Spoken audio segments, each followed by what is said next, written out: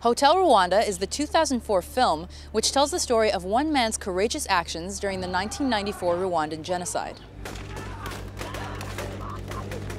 Hi, I'm Rebecca Brayton and welcome to WatchMojo.com. I got to speak with the man behind the story, Paul Rusesabagina. If you could just give us a bit of background as to uh, what you went through in Rwanda. 15 years ago, I found myself in a mess, in a total mess, when on uh, April 7th, uh, 1994, the Rwandan genocide broke out after the murder of two presidents on the 6th in the evening. At the time, what caused you to do what you did? 1,268 people, at least, who were staying in my hotel, each and everybody looking at me. I know, I understand, please. If you give me one more. Without please. food, without shelter, without water, without uh, even electricity. You do not sit down and think that you are going to do something. What you do is to open for the first person who comes in, and the second will follow, the third one will follow, and you find yourself within a situation whereby you can take another decision. Your conscience tells you that this is the right thing to be done.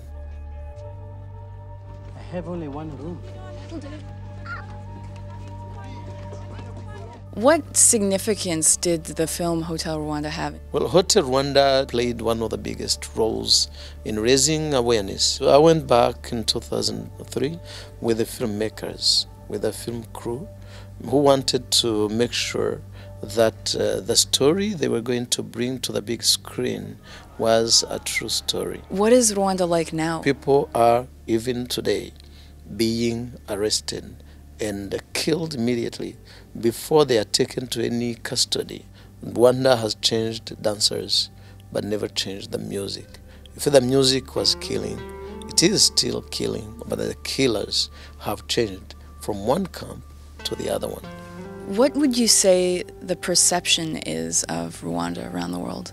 When we talk about something like a genocide, we take it as something that found itself in a place like Rwanda on a given time, in a given place, and is perceived as a finished case. What can the average citizen do? You listen to your own conscience, to your own advisor, the only one who does never confuse right to wrong. We need you, we need them, we need everybody to put in his own help.